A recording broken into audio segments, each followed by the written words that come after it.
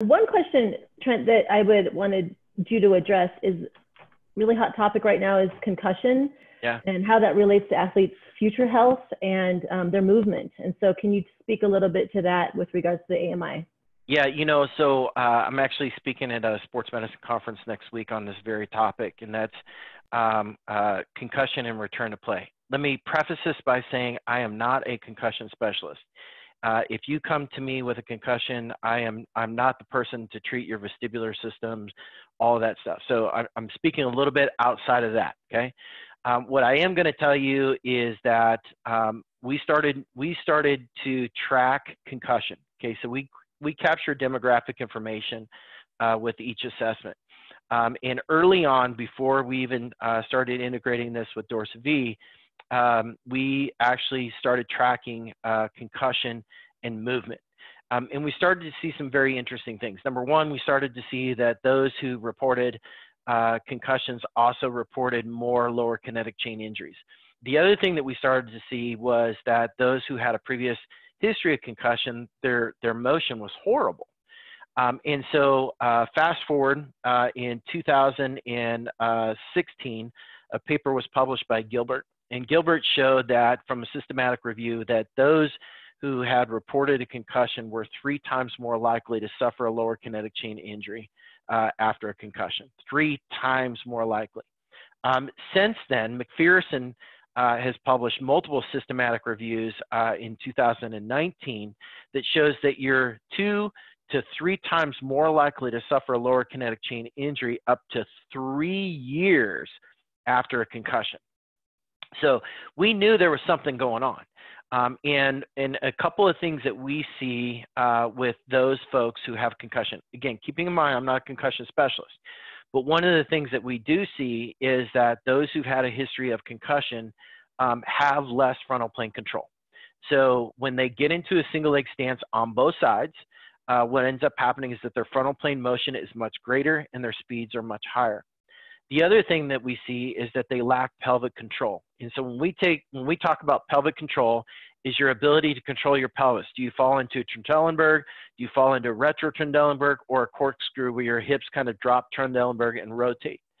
So what we see is that those who've had a concussion tend to have less pelvic control. So their, their center of mass is moving all over the place. Um, and then the other thing that we see is that when they do a single leg hop, they jump up in the air and they land, and you plant that land, right?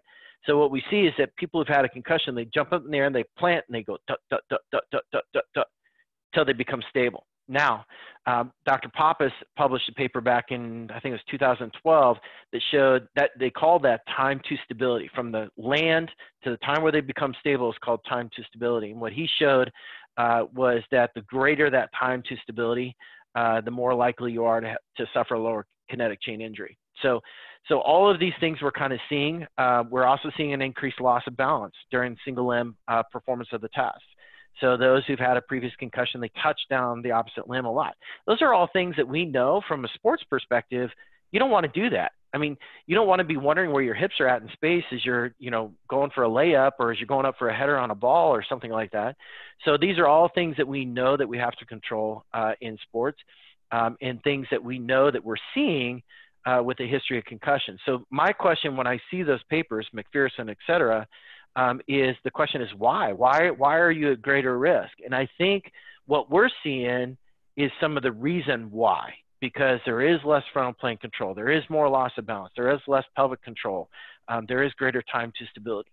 Again, I don't know if those answers are clear, but I will tell you um, one of the things that we've seen, and we just had a paper published uh, earlier this year uh, that looked at some of our volleyball uh, players. We have another one that's coming out uh, looking at football. And one of the things that we've seen is that as we improve results on the AMI, we saw concussion rates going down.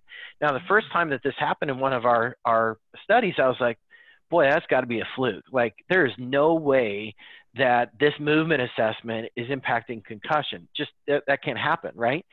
So uh, the second time that happened, we also saw a significant reduction. When I say significant, like 40% reduction. Um, and then uh, uh, just last year, a Johnston study came out and showed that those who had less pelvic control during single limb activities were more likely to get concussed. Um, if you want that reference, email me. I'm happy to send it to you.